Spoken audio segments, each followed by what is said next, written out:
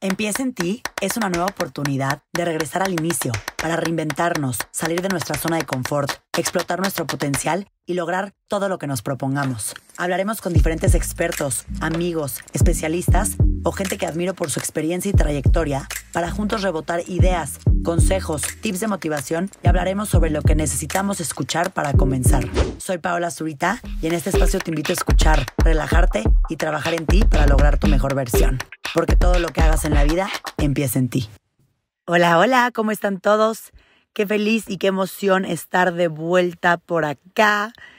Es el primer Trabaja en ti de la temporada 3.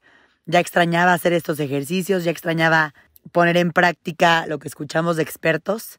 Así que gracias por estar aquí y qué emoción arrancar este 2021 con una nueva temporada, con nuevos invitados, con nuevos ejercicios, hay que arrancar de la mejor manera y gracias por ser parte de esta comunidad.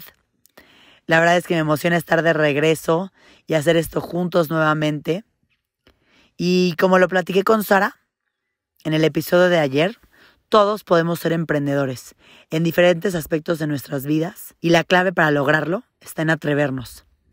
Lo importante es hacer, intentar, crear, para fracasar si es necesario y volver a empezar. Si no, nunca vas a saber si funciona o no. Para ponerlo en práctica, te hice este ejercicio con el que podrás dar el primer paso.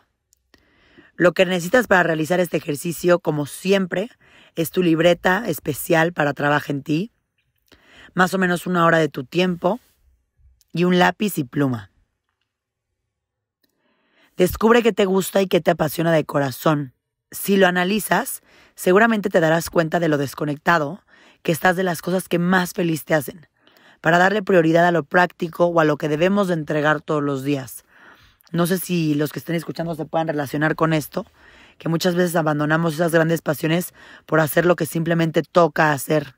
Entonces te voy a pedir que en tu libreta escribas una lista de las cinco cosas que más disfrutas hacer desde tu niñez, para descubrir tu verdadera pasión.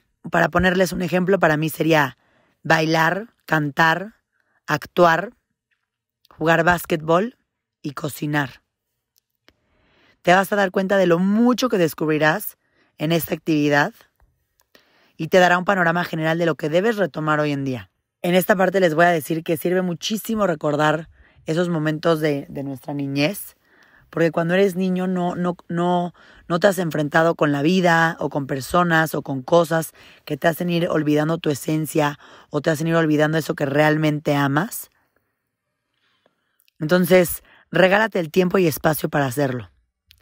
Aunque sigas estudiando o trabajando en algo más, esta semana regálate 30 minutos al día. Te recomiendo hacerlo muy temprano para tener espacios en silencio en los que desarrolles esa idea con la que puedes comenzar a emprender tu negocio. En una hoja de tu libreta haz una lluvia de ideas, dibuja o escribe lo que necesitas para tener más claridad. Entonces, recapitulando. Número uno es descubrir lo que te gusta y te apasiona de corazón, que ahí me van a enlistar lo que les gusta desde niños.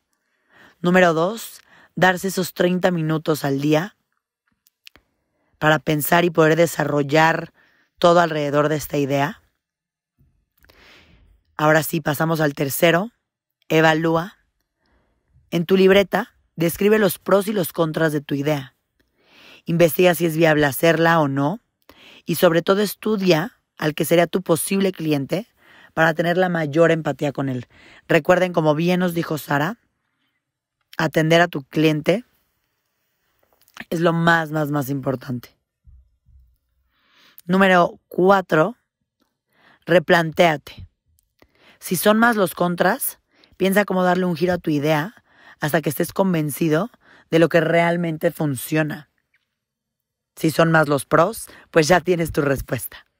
Y por último, número cinco, descansa. No hay nada mejor que descansar para tener ideas nuevas y frescas. Te recomiendo hacer alguna actividad al aire libre, puede ser desde caminar, hacer ejercicio, lo que sea que te permita reconectar contigo y regresar al inicio y volver a empezar. Les dejo este último paso porque muchas veces no va a salir esta idea a la primera y puede comenzar a ser un poco frustrante y desgastante para la cabeza, para la mente, para las emociones, para todo. Entonces es importante darnos esos momentos de descanso, de paz, antes de volver a empezar.